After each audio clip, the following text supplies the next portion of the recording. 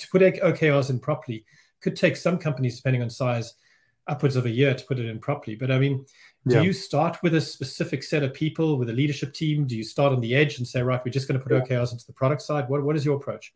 Well, I've, I've found that if you start with people uh, with you know, lower down the organization, like the product team or whatever, it can be very helpful. But you almost always run into a problem. And the problem is that you don't have enough context from management to be able to set the the right kind of OKRs for the product team, and you're depending on so too much alignment across the company. So I find that it's always best. The way I prefer to start is to start with the executive team and setting company-wide OKRs. Mm-hmm. By doing so, you have an impact across the whole company, and you tend to to solve problems across the company.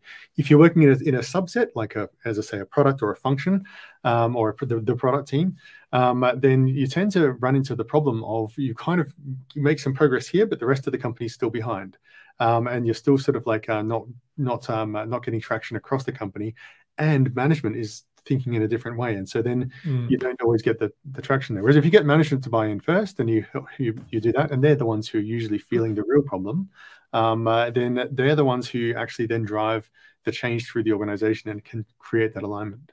In terms of like speed, I mean, yeah, it can take a year or more to really get it working well.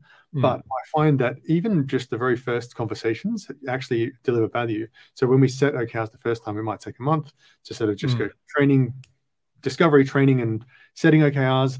And now we've got some clarity around around strategy. We've got some clarity around what that means for this quarter, and it starts mm. to have an impact. And I just recommend people st- to start doing things and iterate on it.